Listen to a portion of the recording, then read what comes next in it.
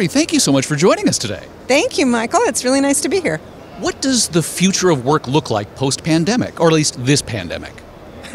okay, post this pandemic. So obviously, the, the biggest change is around 50% of employees will continue to work remotely, um, at least part of the time. And actually, about 10% are expected to be completely virtual, um, meaning full time uh, out of the office. So uh, it means that we have to adjust uh, both at home and, uh, and enterprises have to adjust how they work. From the home worker perspective, how do they have to adjust? What needs to evolve in the home place before we talk about the workplace? Well, there are a lot of things. So it depends on your home environment, right? But obviously, the most important thing is to have really secure, reliable, and resilient, meaning you probably have two forms of good broadband to your home. So that could mean that you have both uh, fiber and uh, mobile connection. It can mean a number of things. Uh, that becomes important because things happen. And um, I'll give you a, a good story. Uh, one of the people that I work with uh, early in the pandemic, she was on a uh, Teams call with a very intimidating and important executive, explaining a chart to him.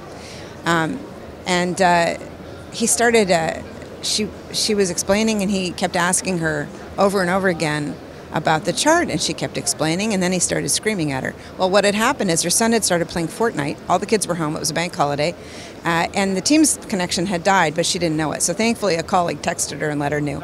But this kind of thing happens all the time, and so uh, managing your um, your family connections and being able to slice your own home right becomes a really important capability. Uh, I think that I think we've all made a lot of adjustments uh, in how we work um, and adjusted our homes to some degree, but I think we need more help with that. And I think the other thing that's really important is we can't forget it's really easy sitting here in Barcelona with um, all kinds of folks who have very good and easy lives and lots of good bandwidth to forget about all the folks who don't have bandwidth. Um, and who can't work from home very easily. So uh, it's the other thing that's really important is getting. Um, I always say it's about getting affordable bandwidth to those who need it and those who uh, can use it that becomes super important, I think, for us now. So 5G helps bridge that digital divide. Absolutely, 5G is a critical enabler for this as well, as is fiber, right? Both, um, and and uh, as we'll always remind you, there's no 5G without fiber. They go hand in hand, uh, and we're seeing huge booming demand for both at the moment for that very reason. The Fortnite story sort of reminds me that we now have to think about SLAs for the home as well as for the enterprise. Exactly. And if you get a chance, I, I know we're at the show and right now, we have a fantastic slicing demonstration, slicing right down onto the Android phone. Um, and this is a really important opportunity for operators um, and for enterprises because it's a way to start managing uh, their end users. And you can't forget security, right? Because the other thing that's really important, both for the um, for the home user, so we think about the super home. We have this notion of the super home. Uh, what is a super home going to have? It's going to have resilient high performance uh, bandwidth capability, and it's got to be secure, and it's got to be securable by also whoever you are working for. So, from the enterprise side, if security should be step number one in the evolution of the work from home hybrid work environment, what else must enterprise evolve to to be able to accommodate that? So enterprises also have to sort of, I mean, there's a whole lot of uh, just human factors you have to readjust. So you have to think about your people's home environments. You have to think about the mix of office and home. Um, you can't just go shutting down offices because there are people who need to be there. Uh, and at the same time, you have an opportunity to really change your carbon footprint, to change um, the way people interact. So you need to give them really good tools. It's important that people have excellent tools.